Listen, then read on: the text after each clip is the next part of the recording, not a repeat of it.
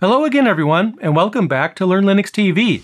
In a recent tutorial on this channel, I taught you guys all the basics of systemd. In that video, I also covered some additional things, things that you might not be aware of even if you do have some knowledge on systemd. Now that video seemed to be one of those that you guys really enjoyed, but at the same time I also mentioned that there's some additional concepts that I also want to go over, but those concepts would have to wait for a separate video. And this video is the first of those. In this video, we're going to go over systemd timers. Timers in systemd allow you to schedule a job or task to run at some point in the future. And this is not all that unlike cron, for example, something that I've gone over on this channel before, but timers in systemd give you additional features which we will be exploring in this video. In fact, in this video, I'm going to teach you everything you need to know to fully understand systemd timers and also create them and use them in your daily workflow. Now before I get into that though, I do need to take a moment to mention the sponsor for today's video, Akamai Connected Cloud.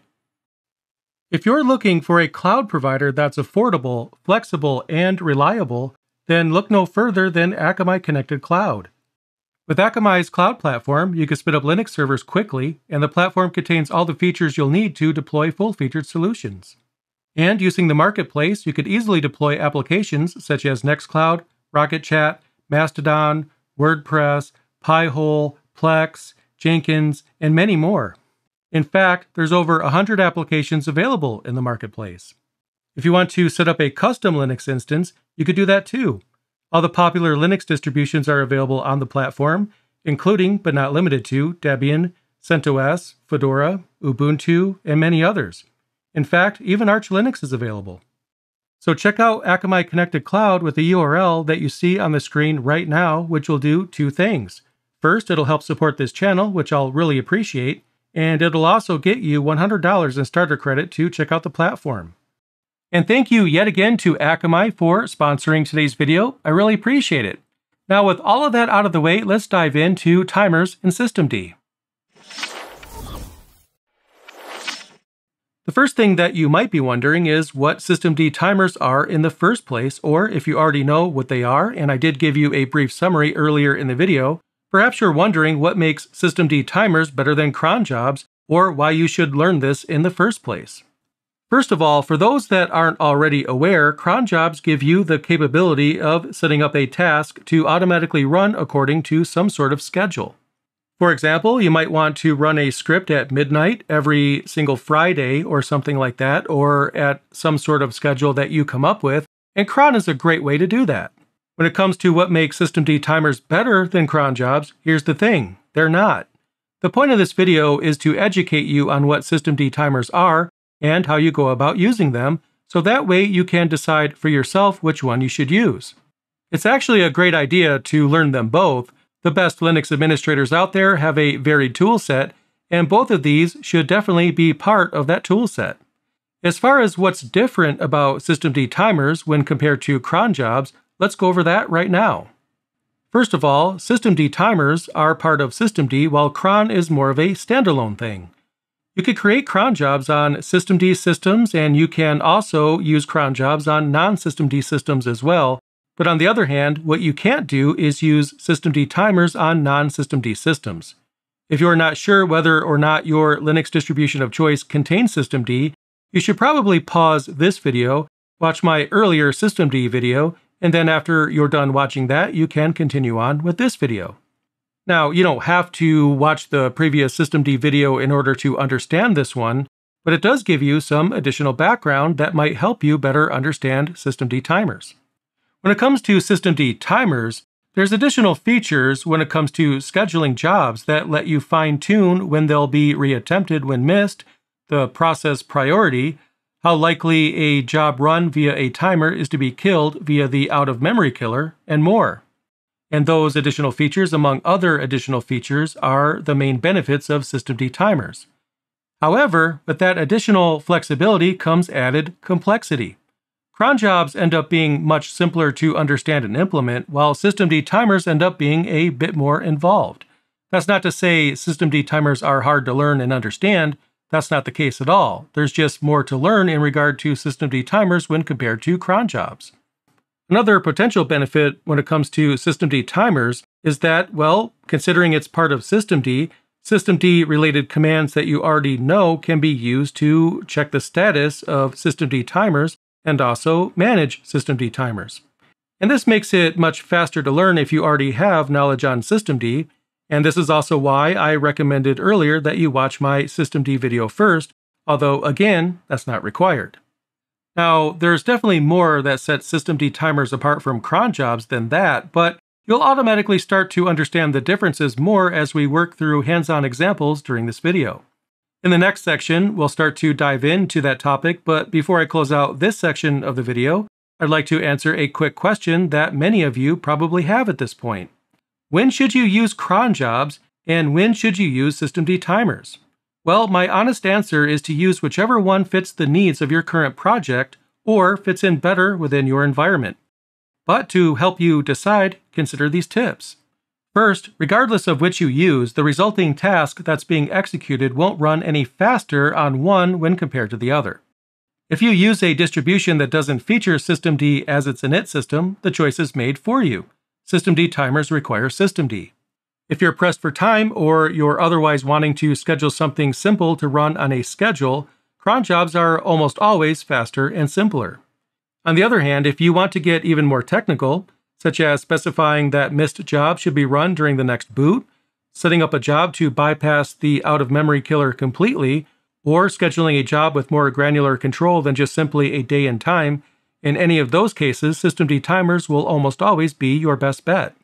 If you want to add automation to a solution that interacts with systemd as part of its internal functionality, then in that case, systemd timers are the best way forward. In summary, though, systemd timers integrate better within your environment if you already use systemd and offer you additional features that cron itself doesn't offer. On the other hand, cron jobs are easier to understand and simpler to implement. Which one you end up using will ultimately come down to the complexity of the task at hand and which of the two solutions are a better fit for your project on a case by case basis. Now it's time to see systemd timers in action, and we'll also work through some hands-on examples in this section to help you learn it. And we'll begin with a very simple example. Let's say that we have a web server and we want to send the message of the day to our users on a regular schedule. What we'll do is look at how we'll achieve that with a systemd timer. The first thing we'll do though is test out the command that we want to schedule. We need to make sure that the command we want to run or the command that we want the systemd timer to run is a command that works in the first place.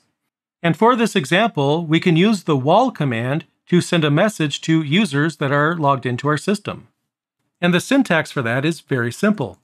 We type wall and then hello world just like that. As we could see, it printed a message onto the screen, like you see right here, and the thing is, every user that's logged into the system will see the same message. On a side note, if you were curious how to send a message to everyone on the system, well, now you know. However, a message of the day would be a great example in and of itself, but let's make it a bit more fun. Let's try this command right here. We'll type curl wttr.in question mark format equals 3. So I'll press enter. And check this out. We get the weather report for our current area. Now the thing is though, this server is located in Toronto, Canada, but I'm in the United States. The Toronto data center when it comes to Akamai's connected cloud is the closest one to me geographically, even though I'm not in that country. So anyway, that's why I received Canada's report right here. That doesn't matter though. As you can see here, we were able to pull a weather report from WTTR.in. This is something that I covered in a previous video. I'll leave a card for that video right about here.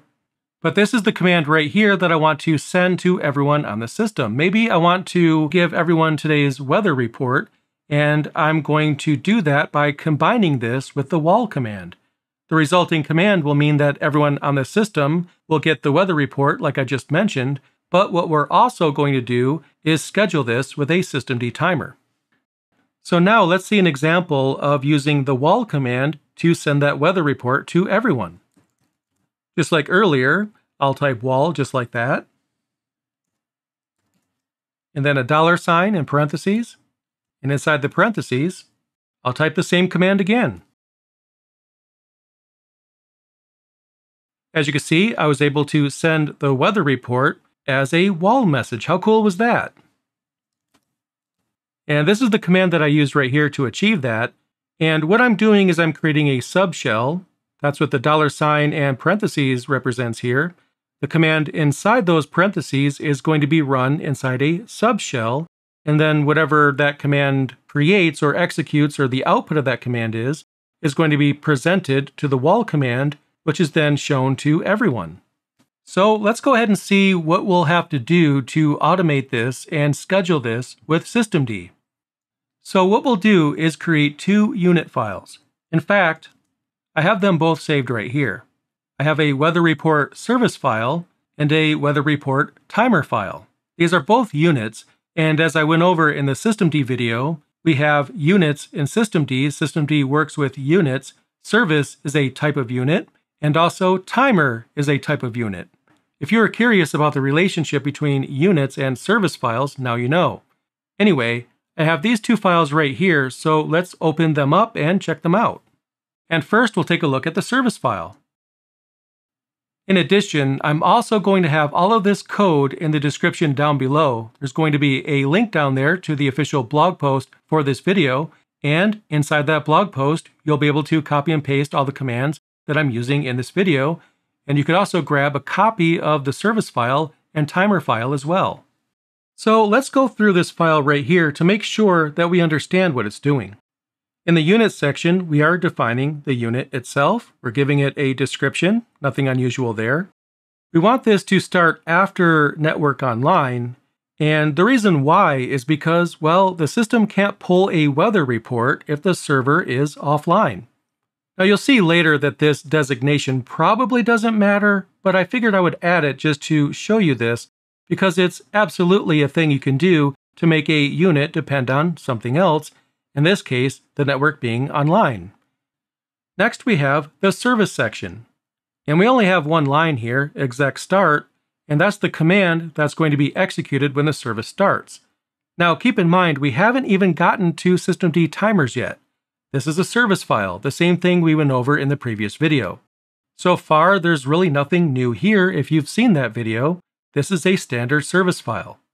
I'll show you the timer in just a moment, but I just wanted to make sure you were aware of that. Anyway, exec start is going to be the command that will run when we start the service.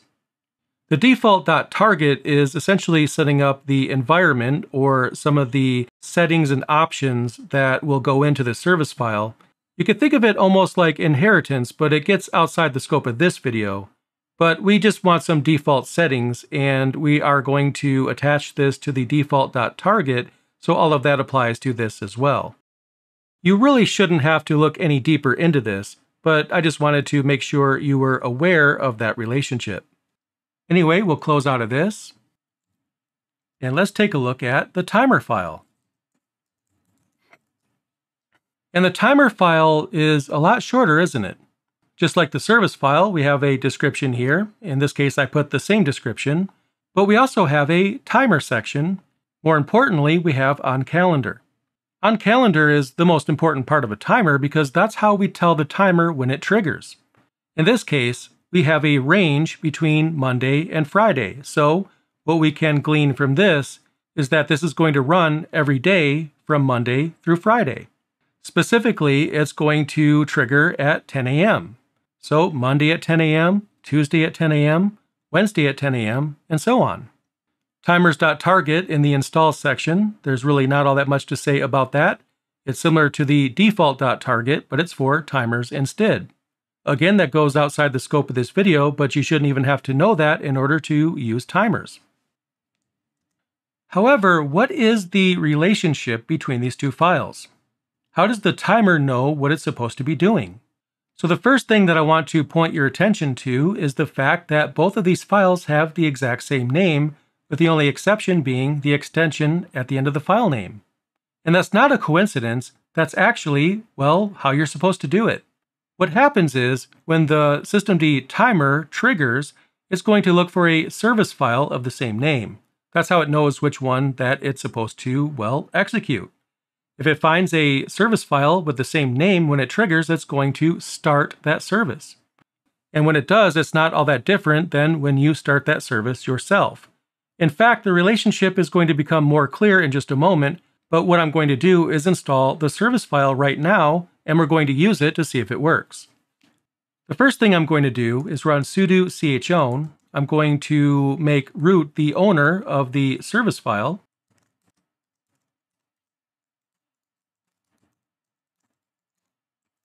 Just like that. You can see the difference already. We may as well make that same change to the timer file since we'll have to do that anyway. So I'll just recall the previous command, I'll change it to timer, and I'll press enter. So now that we have the permissions set, what I'm going to do is install the service file. And I could do that by running sudo and then mv for move. And what we'll do is move the weather report service, and where we'll move that to is under slash etc slash systemd slash system just like that. Now if I list the storage of that directory, we should see that our weather report service is there in that directory, and we do see that there at the end of the directory listing, as you can see here. Now the next thing we'll need to do is let systemd know that we made a change to a unit file. So we'll run sudo and then systemctl. And then what we'll do is perform what's called a daemon reload, That'll just scan its directories and see what's changed, and obviously it'll find that new service file that we've added.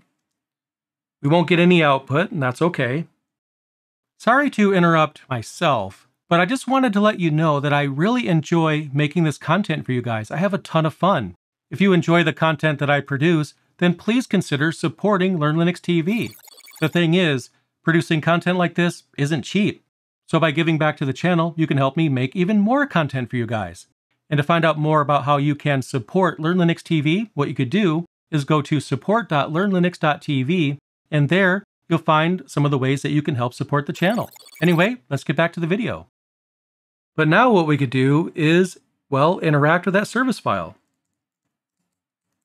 Just like any other service file, I mean, it is a service file, nothing's changed yet. We can run systemctl status weather report dot service. It's not running, and this is something that's going to run once and quit anyway. But as you can see here, there's nothing different when it comes to a systemd service that's going to be used with a timer. A service is a service, and the presence of a timer doesn't change that. And to prove that, what I could do is start the weather report service. So I just changed the status keyword to start, as you can see here. And I probably should have used sudo. See, I forget to do that sometimes too. I'll just break out of here.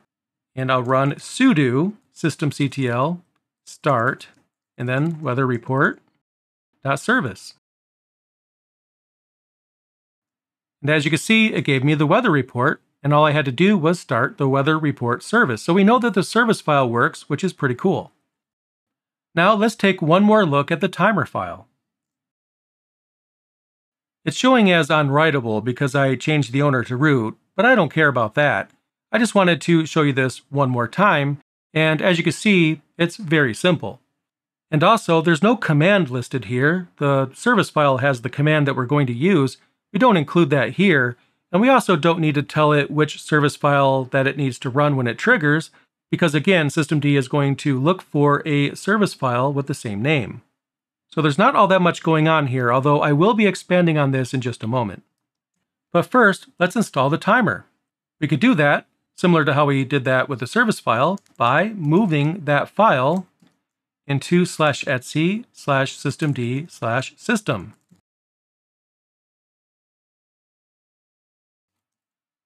And as you can see, we now have both the weather report service and timer there in that directory. Just like before, we'll run sudo and then systemctl, daemon reload. Again, that just lets it know that we added a file.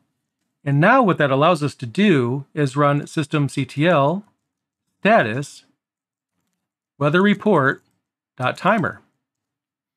Now, right now, there's nothing going on here. It's not even enabled. So that's interesting. We don't really get a lot of information here, but let's go ahead and enable the timer and see how the output changes. So now we can see that it's enabled, which is great, but we still don't get all that much information, do we? Well, just like with any other unit, I can also start the timer. But what do you think is going to happen? If I start the timer, does that mean it's going to start the service file as well? Well, let's find out. Let's check the status one more time. And the output definitely looks different, doesn't it? Under trigger, it tells me that it's going to trigger on Wednesday, August 9th of 2023 at 10 a.m. UTC. I didn't change the time zone of the server at all, which is why it's set to UTC in case you're curious. I do know that some people within my audience actually use UTC as their time zone, so if that's you, you probably didn't even notice anything different. But that's just one thing I wanted to mention that your local time zone or how you've configured your time zone in your server is going to help determine when this triggers. But what we can glean from this already is that we have to enable the timer if we want it to be active when the server boots. We have to start the timer if we want the countdown to start counting down. Otherwise, the timer will do absolutely nothing. Once we've started the timer, we can see that the output of status has changed, and more useful is the fact that it shows us the next trigger time so if you want to find out when your systemd timer is going to trigger or when it's going to go off, then you could use the status keyword as I did right here to find out when you can expect this job to run next.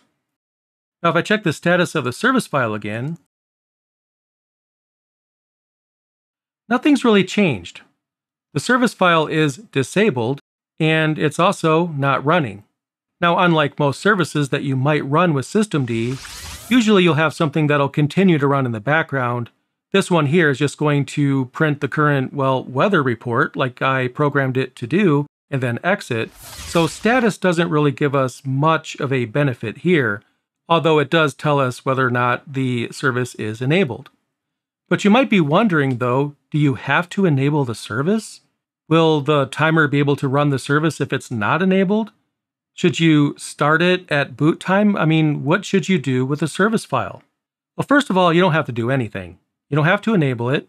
And the ability for your service file to be enabled to start and all those other things that you can normally do with a service file, all of that stays exactly the same. And I do mean that the behavior is exactly the same. If I enable this service file, then it's going to print a weather report to everyone at boot time just like any other service would start at boot time if it's enabled. So essentially, the presence of a timer doesn't change how a service behaves. As far as whether or not you should enable your service, that just depends on whether or not you want it to run at boot time. But anyway, now we have a service that will create a weather report for us, and we also have a timer that's going to trigger this particular service.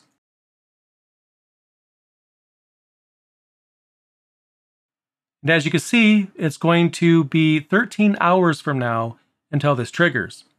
Now the thing is though, I want to actually see this work. I don't want to wait 13 hours and hope that I'm here at my computer to see this when it happens. I want to know that this is going to work. So what I can do is change the time to something like, I don't know, a few minutes from now to show you that it works. And right now, as you can see, when it comes to UTC, it's currently 8.01 p.m. So what I'll do is add a few minutes to that. So what we'll do is run sudo and then nano. We have to use sudo now to edit our service file and our timer now that we changed it to be owned by root.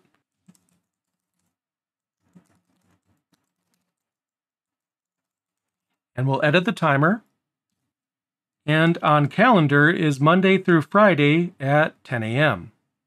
Now, since the time is currently 8 p.m. when it comes to UTC, I'm going to change this accordingly.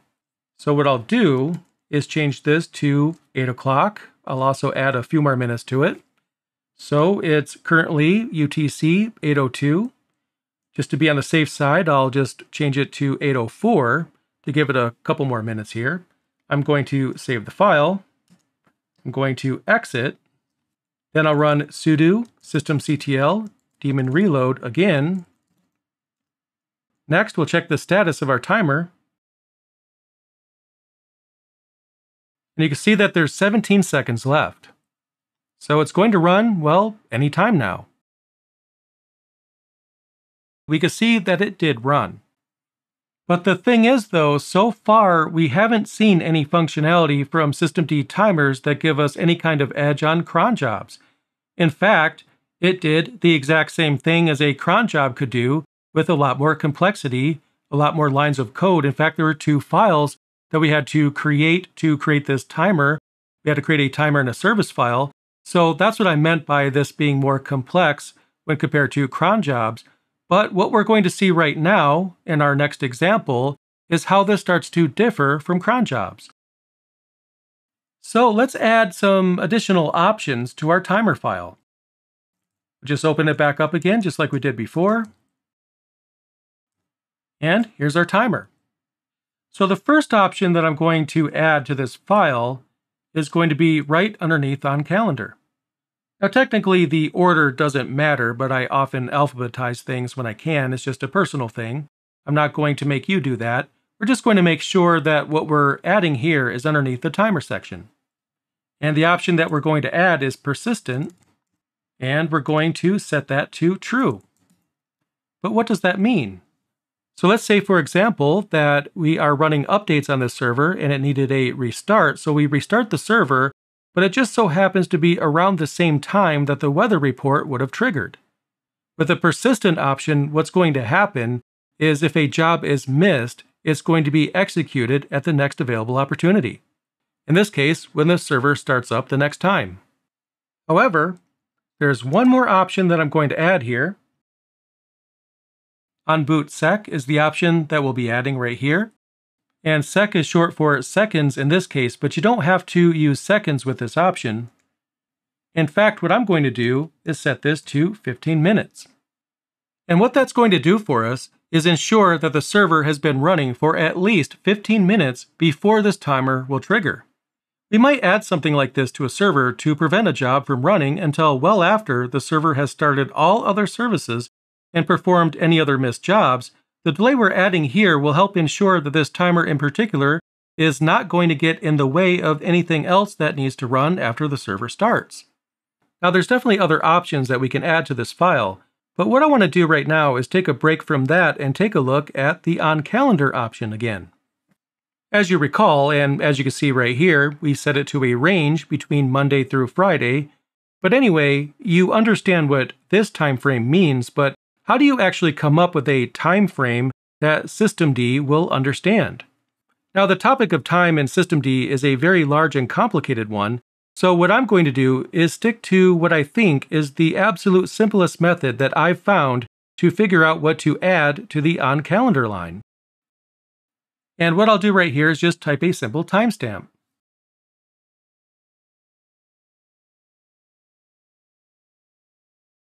So here I have a timestamp that I completely made up off the top of my head. I'm not really sure why I chose 2032. Now it is a multiple of 8, so that might be why, but I don't know. That's just a date that I came up with, and that date right there is in the format that systemd understands. Now we could add this timestamp to the on calendar line as is, but if we do, this timer will execute specifically on that single day and never again. Now, to be fair, if time space repeated itself, it would have a chance to run again, assuming in that universe I created the same tutorial, but I don't know about you, I probably don't want to wait until 2032 for this to run. So let's go ahead and change this a little bit. So what I'll do is I'll change Monday, and I'll change that to an asterisk. And what that asterisk means is that it doesn't matter what that particular field equals, it doesn't really apply to when this is going to trigger. But that also doesn't really help us much, does it? What this means now is that this is going to run on this date and time regardless of what the day of the week is. If I had the wrong day of the week, for example, then it wouldn't run at all. I mean, imagine waiting until 2032 and then it just doesn't happen. So I added an asterisk here just in case I, I don't know, didn't know what day of the week this fell on, but it still doesn't change when this is going to trigger. It's still going to trigger on that same day and never again. So let's narrow it down a little bit more. So now I've made the year an asterisk. Now at this point, with this timestamp right here, we're starting to get somewhere, aren't we? At this point, it's not the case that this is going to trigger once, you know, for eternity. Now it's going to trigger once a year, every year on August 16th, as a matter of fact. Now, as you can see, I changed the month to an asterisk as well, and that's going to make this trigger even more often. Instead of once a year, it's now going to trigger every month on the 16th at 10.08. Now, if we want to set this to run every day, then we can write it like this. Now it's going to run every day at 10.08. Now, if I wanted to run this every hour, which would probably annoy everybody that's using this server, then I can change it accordingly, as you can see right here. If I was to remove this field here, the minute field, it's going to run this every minute. And the reason why it's every minute is because every time the seconds field is 00, it's going to trigger the task to run. So again, that's the way that I like to come up with a timestamp with systemd. We simply start with a date, any date we want. I'll just use the same one again. And that's the way that I like to figure out timestamps with systemd. You essentially just change this to match whatever your desired format is. If you want this to run every year, every month, every day, every hour, you just change it accordingly. It's that simple. And once you're done, you copy this, whatever the resulting timestamp happens to be,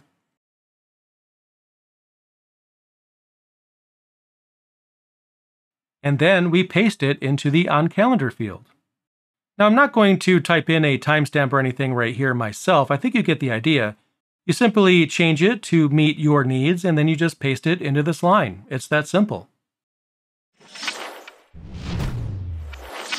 And there's our video.